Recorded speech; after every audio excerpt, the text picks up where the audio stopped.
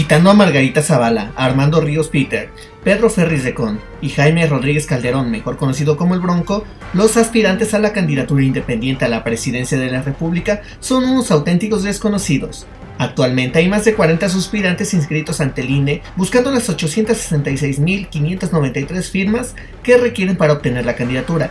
La gran mayoría ni siquiera cuenta con un mínimo de conocimiento público. Ejemplos hay muchos, pero entre los más destacables está María de Jesús Marichuy Patricio, quien fue elegida por el Congreso Nacional Indígena para registrarse como candidata independiente.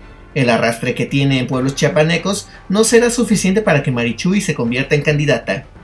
El teniente jubilado de la Marina, Ángel Martínez, es otro de los aspirantes a la candidatura independiente. Sin embargo, su nivel de popularidad entre el electorado prácticamente no existe, por lo que es casi imposible que reúna las firmas.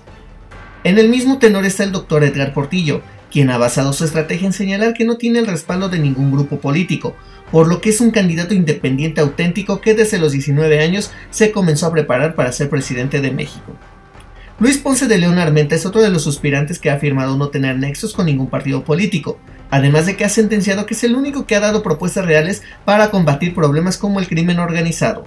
La activista Gwendolyn Gutiérrez Mejía sueña con la candidatura presidencial, sin embargo, desde su registro decidió cerrar sus redes sociales y solo se conoce su amplia admiración hacia el ejército mexicano. Como los ya mencionados, hay decenas de aspirantes a la candidatura presidencial independiente. Sin embargo, el bajo conocimiento de la sociedad hacia ellos hace una emisión imposible el que obtengan las firmas necesarias para la candidatura. Para Imagen Poblana, Gustavo Mirón Reyes.